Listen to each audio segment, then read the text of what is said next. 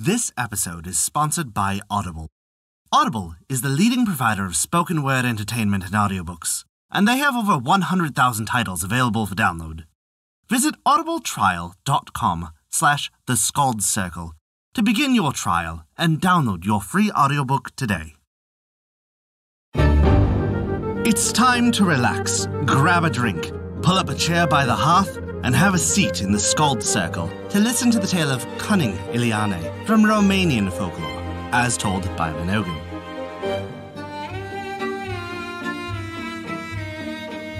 Before we begin our story, we wanted to remind you that we release new tales for free every week. Our shorter tales release on Wednesdays, and our longer chapter stories release on every other Saturday. Find out where you can hear them on our website at thescaldcircle.com.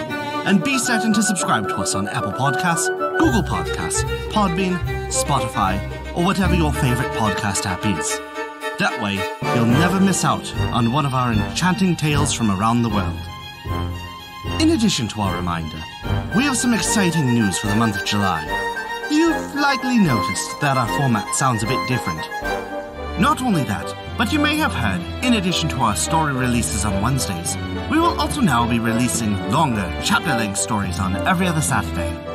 As if that isn't exciting enough, starting on July 9th, we will begin hosting Fireside Stories with the Skald Circle at 7 p.m. Central Time, every other Thursday. Our Fireside Stories will be a live stream of Casimir and I regaling you with tales that you may have never heard before, along with some of our witty banter. So if you want to experience what a live show from the Skald Circle is like, that may be of interest to you. You can find out more details under the events section on our website. Now then, without further ado, this is Cunning Ileane. Once upon a time, something happened. If it had not happened, it would not be told. There was once an emperor who had three daughters. The oldest was beautiful, the middle one more beautiful, but the youngest, Ileane, was so fair that even the sun stopped to gaze at her and admire her charms. One day, the emperor received the news that his neighbor, a mighty monarch, was no longer friendly, but wanted to fight with him on account of a great imperial feud. The emperor consulted the old men of the country, and seeing that there was nothing else to be done, he commanded his valiant soldiers to mount their horses, take their weapons, and prepare for the terrible battle which was about to be fought. Before mounting himself, the emperor called his daughters, addressed a few fatherly, touching words to them, and gave each one a beautiful flower, a merry little bird, and a rosy cheeked apple. Whoever has her flower wither, her bird mope, or her apple rot, I shall know has not kept her faith, said the wise emperor. Then, mounting his steed, he wished them good health, and set off with his brave soldiers on their toilsome way. When the neighboring emperor's three sons heard the news that the emperor had quitted his home and gone to war, they made an agreement among themselves and sprang on their horses to ride to the palace and vex the monarch by making his three daughters faithless to his trust. The oldest prince, a brave, spirited, handsome fellow, went first to see how matters stood and bring tidings afterward to the others. Three days and three nights the champion stood under the wall, but not one of the girls had appeared at the windows. In the gay dawn of the fourth day, he lost patience, plucked up his courage, and tapped on the oldest princess's window. What, what is it? What is wanted? asked the royal maiden, aroused from her sleep. It is I, little sister, said the prince. I, an emperor's son, have stood under your window three days for love of you. The princess did not even approach the window, but replied in a prudent tone, Go back home by the way you came. May flowers spring up before you and thorns remain behind. After three more days and nights, the prince again knocked on the girl's window. This time the princess approached it and said in a more gentle voice, I told you to go back home by the way you came. May thorns spring up before you and flowers remain behind. Once more the prince waited three days and three nights under the maiden's window. In the grey dawn of the tenth day, that is, after thrice three days and thrice three nights have passed, he smoothed his hair and for a third time tapped on the window. What is it? Who is it? What is wanted? asked the princess, this time somewhat more sternly than before. It is I, little sister, said the prince. For thrice three days I have stood longingly under your window. I would like to see your face, gaze into your eyes, and watch the words flow from your lips. The princess opened the window, glanced angrily at the handsome youth, and said in a scarcely audible voice, I would willingly look into your face and say a word or two to you. But first, go to my younger sister. Then come to me. I'll send my younger brother, replied the prince. But give me one kiss to make my way home pleasanter. Almost before he had spoken, he snatched a kiss from the beautiful girl. May no second one fall to your lot, said the princess, wiping her mouth with her embroidered sleeve. Go back home by the way you came. May flowers spring up before you, and flowers remain behind. The prince went back to his brothers and told them all that had happened, and the second took his departure. After the princess stood under the second princess's window nine times nine days and nine times nine nights, and tapped for the ninth time at her window, she opened it and said to him kindly, I would like to look at you and say a word or two to you, but first go to my youngest sister, then come to me. I'll send my youngest brother, said the prince, but give me one kiss that I may hurry the faster. He had scarcely said it when he stole a kiss. May no second one fall to your lot, said the royal maiden too. Go back home by the way you came. May flowers spring up before you, and flowers remain behind. The prince returned to his brothers, told them all that had happened, and for a third time a hero departed, the youngest son. When he reached the palace where the three sisters lived, Ileane was standing at the window, and when she saw him, she said merrily, You handsome champion with the royal face, where are you hurrying that you urge on your steed so hotly? When the prince saw Ileane's face and heard Ileane's words, he stopped, gazed at her, and answered boldly, I'm hurrying to the sun, to steal one of its rays, to give to its sister and take her home, where she shall become my bride. Now, little sister, I will stop on my way to look at you, gaze at your radiance of your face, say a word to you, and steal a word in reply.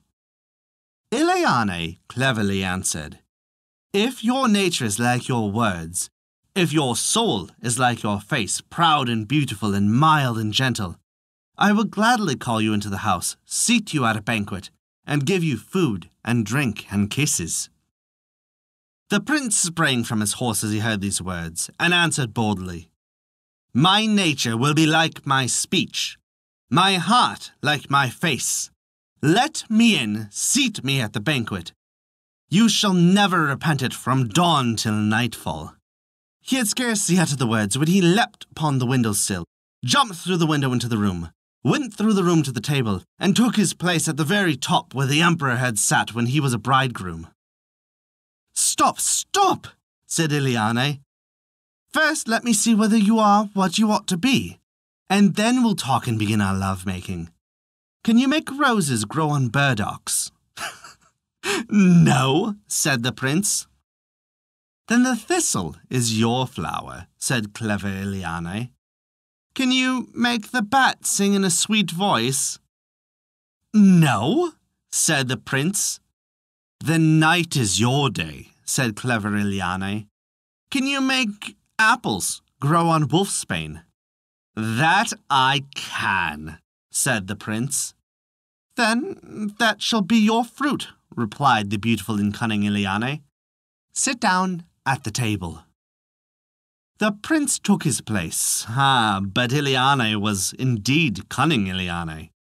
Ere had he fairly seated himself, he dropped, chair and all, into the deep cellar where the emperor's treasures were kept. Ileane now began to scream, Help! And when all the servants came rushing in to see what had happened, she told them that she had heard a noise and was afraid that someone had got into the cellar to rob the emperor of his treasures. The servants did not waste many words, but instead opened the iron door and went into the cellar, where they found the prince and brought him in disgrace to be sentenced. Ileane pronounced judgment. Twelve girls under punishment for some offence were to carry him out of the country. And when they had reached the frontier with him, each one was to give him a kiss. The order was obeyed. When the prince reached home and joined his brothers, he told them the whole story, and after everything had been related, their hearts were filled with rage. So they sent word to the two older princesses that they must arrange to have Ileane go to the three princes' court, so they might revenge themselves upon her for the insult she had offered them. When the oldest daughter received this message from the prince, she pretended to be sick, called Ileane to her bedside, and told her that she could not get well unless Ileane brought her something to eat from the prince's kitchen, and told her that she could not get well unless Ileane brought her something to eat from the prince's kitchen. Ileane would have done anything for her sister's sake, so she took a little jog and set off for the court of the three princes to beg or steal.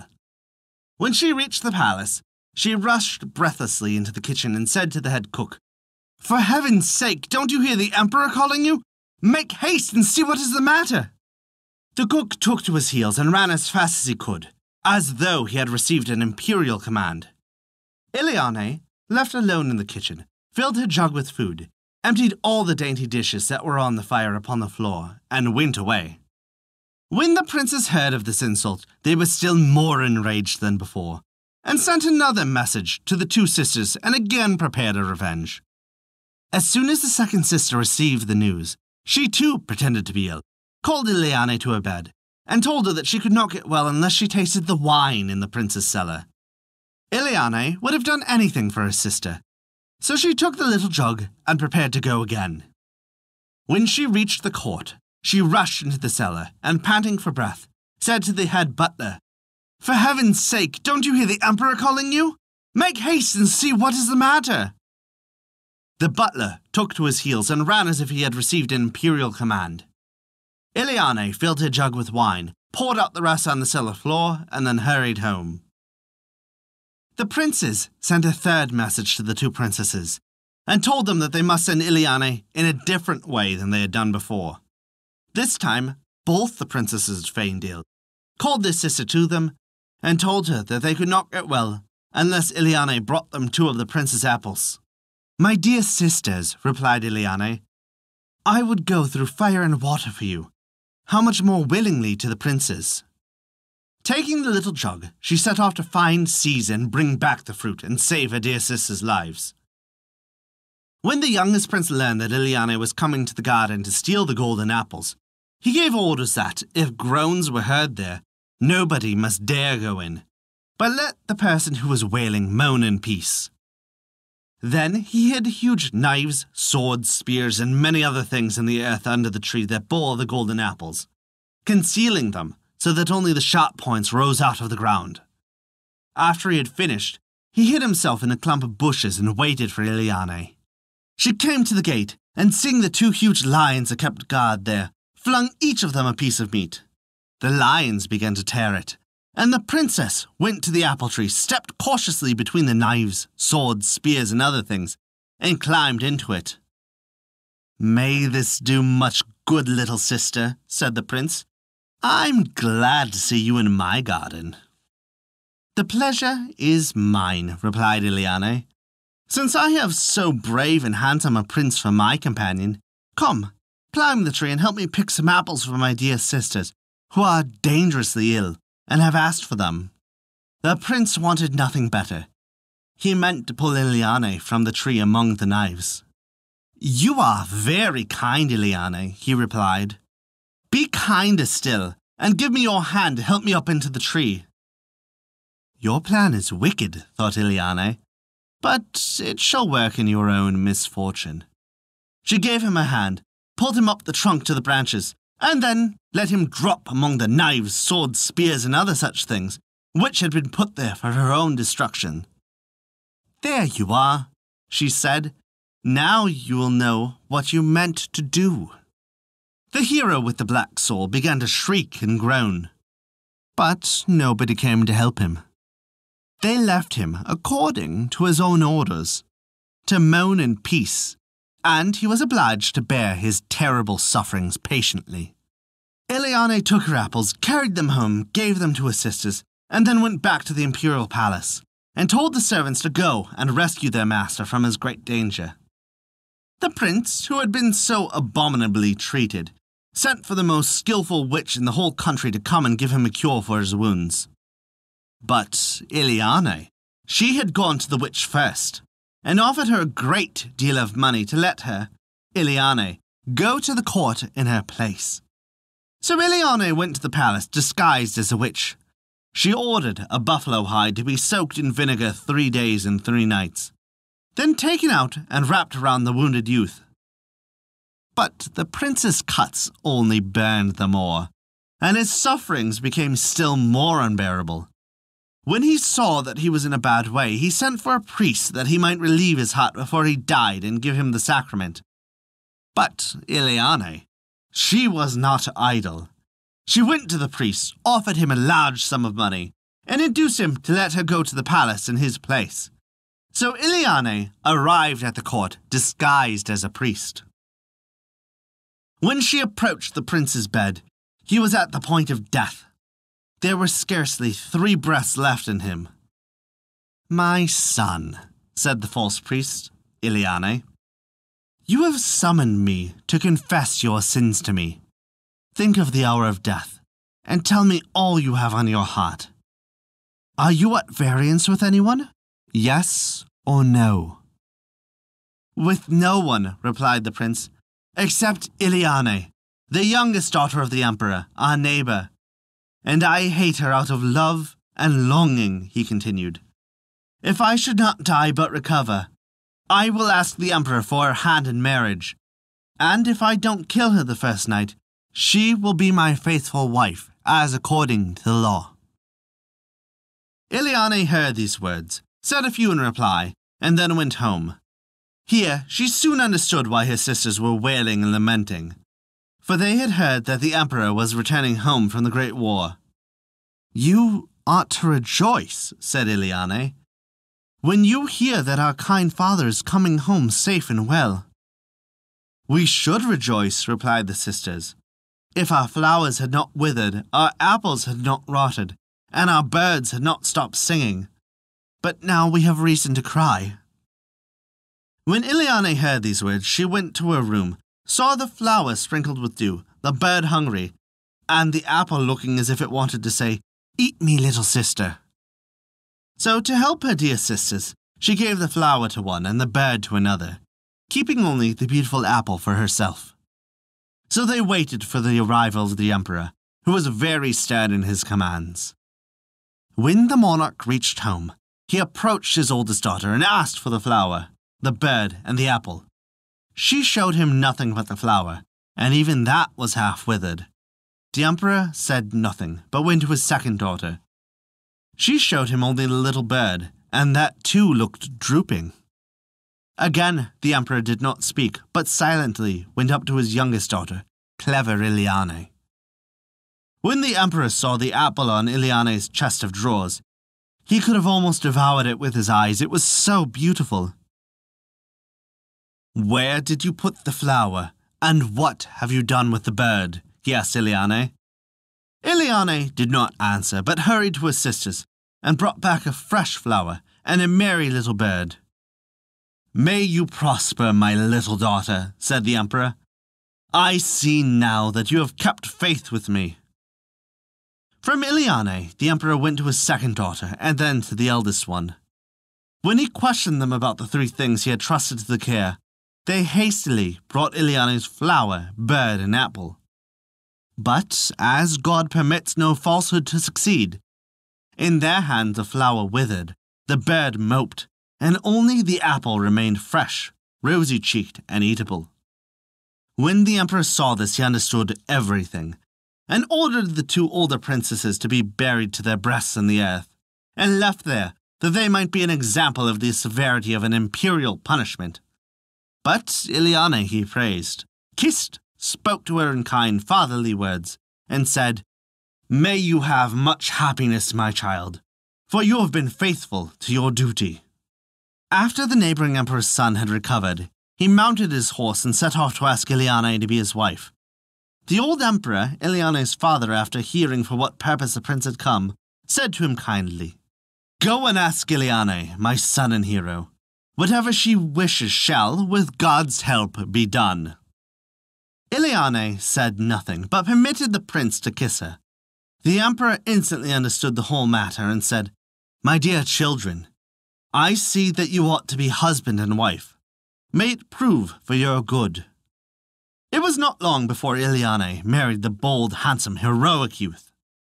Her wedding was so magnificent that the tidings of it spread through seven countries. Yes, indeed. But Ileane had not forgotten the evil the prince had in his mind. She knew that he would try some trick upon her the first night after their marriage. So she ordered a sugar doll to be made exactly the same shape as she was, with face, eyes, lips, and figure precisely like Ileane's. When it was finished, she hid it in the bed where she ought to sleep that night.